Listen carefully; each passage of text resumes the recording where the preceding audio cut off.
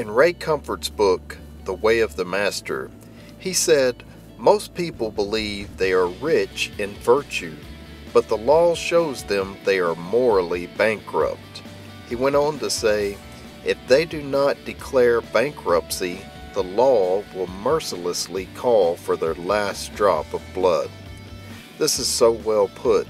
The problem is that most people mistakenly feel that they have some virtue, some goodness to offer God. The Bible tells us that all our righteousnesses are as filthy rags.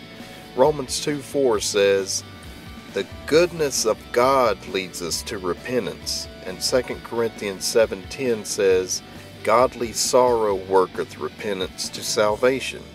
Repentance is changing our mind toward God, sin, and self. It is getting rid of our pride and self righteousness. The law shows us that we are utterly bankrupt in ourselves. We must fall upon His grace and mercy to save us. Push the spiritual bankruptcy button.